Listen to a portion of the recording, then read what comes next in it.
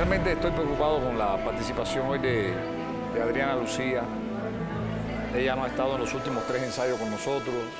Hoy en la prueba de sonido recién se encuentra con su pista. Estoy preocupado. Bueno, esto también es un tema de dos partes. Nosotros ponemos nuestro empeño, pero también el participante tiene que poner su parte responsable de preocuparse de tener su pista, de saberse su tema.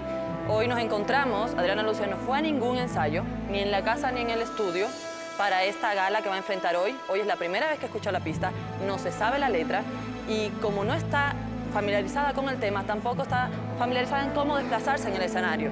Así que realmente Adriana Lucía hoy presenta problemas en todas las áreas que conlleva una presentación y es básicamente por su responsabilidad de no haber venido a ningún ensayo con nosotros.